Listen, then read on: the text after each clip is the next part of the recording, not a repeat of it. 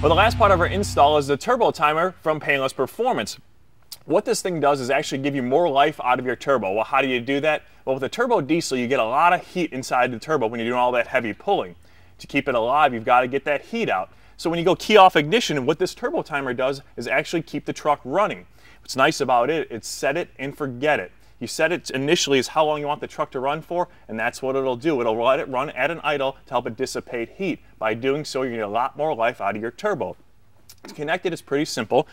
You got the wiring harness that plugs in. There's two main connections you need to make underneath. One to the brake switch and one to the ignition. The ignition, once you cut it off, starts the timer, lets the truck keep running.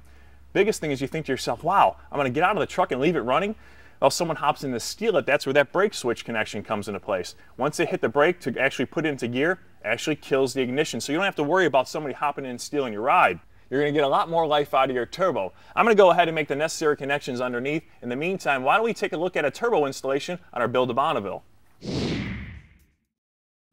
For more information on anything you've seen on today's show, check out speedtv.com or visit our website at truckutv.com. Bruno, I'm back, dude. What you hey, checking man, out, glad man? you made it, bud. Cool, there you go, buddy. I got that can. Hey, welcome back to Truck U. I'll tell you what, dude, you would not believe what I went through to get that can. But finally, Really? I'm back, dude. No, it's I think good. I would, actually. Dude, traffic was tough, dude. Anyway, Yeah, it's all good. Now we're rolling. Hey, well, Matt actually made it back here, and he brought the seven-gallon can with Yeah. us now.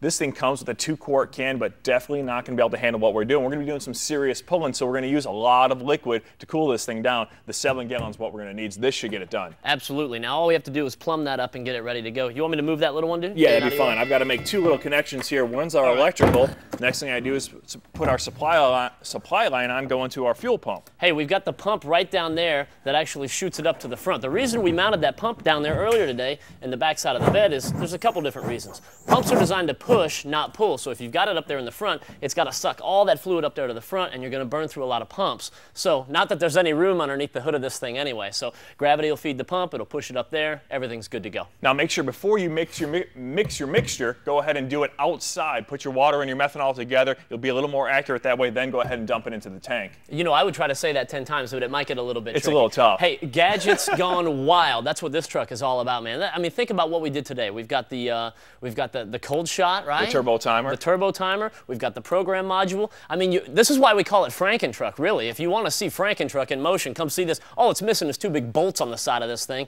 and it'd be good to go. So I don't know, dude, but listen, seriously, what were you checking out? I want to see this. Hey, dude, how was that CD? What what's the work truck doing on the GPS, dude? Dude, GPS works, my friend. It do- well, all right. Winger, greatest hits, dude. You know it rocks, man. Everything was cool, right? Dude, at least tell me the movie was good. The movie wasn't good. Busted. I told you he disappears on me all the time. I actually thought I was going to get away with something today, so no can do. All right, that's going to wrap it up for us today at Truck U. We'll catch you next time around, dude. The popcorn was was What did you stale. I got a Slurpee, dude. Thanks It for inviting me, any bro. I would appreciate it.